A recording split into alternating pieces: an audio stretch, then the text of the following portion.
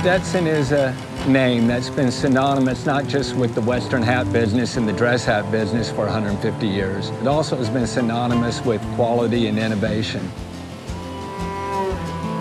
My family has been in four generations. My grandfather, my father, myself, and John.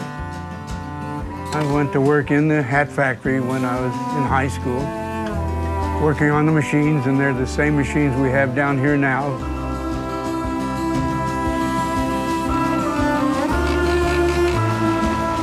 Hat business really hasn't changed. We're making hats today similar and if not identical ways to how the hats were made in Philadelphia for many years and now in Garland, Texas. We're one of the few companies in the world that make our own hat bodies and then we take the body, which is a hood, and finish it with a good feel and the nice shapes and trim that you see in the finished hat. I take it as a personal challenge that we make every Stetson hat to the best of our ability and quality. So not only have four generations of my family been involved in hat making, but that future generations of Stetson hat wearers throughout the country, throughout the world, will enjoy the same quality and care and concern to their product that prior generations have.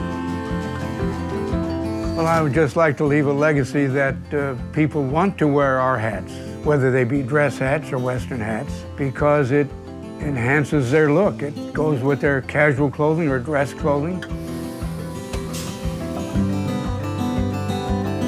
But we're a very vertical company that has a raw material to the finished product, and very few companies in the world have that anymore. It's a love. It's a love for the hat business.